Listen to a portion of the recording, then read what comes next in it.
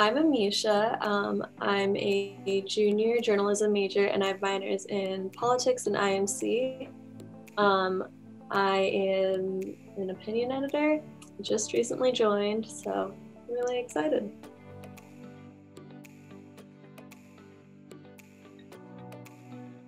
Um, I wrote an op ed for the last opinion editor, so the Ithacan actually reached out to me and asked if I would like to work with them. It was um, an op ed just about like growing up as an Indian woman in America and then also like my culture, history, etc.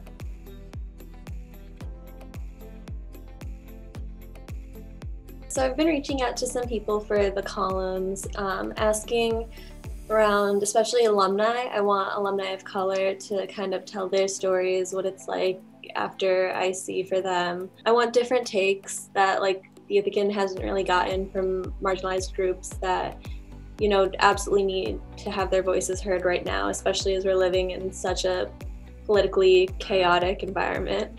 And then also I just want students to feel comfortable like working with the Ithacan, reaching out to the Ithacan, and like creating a school newspaper that actually is representative of the entire body and then also is a safe space because I think the news should be something that you can like look to and trust. And I want everyone at Ithaca to feel that way about the Ithacan.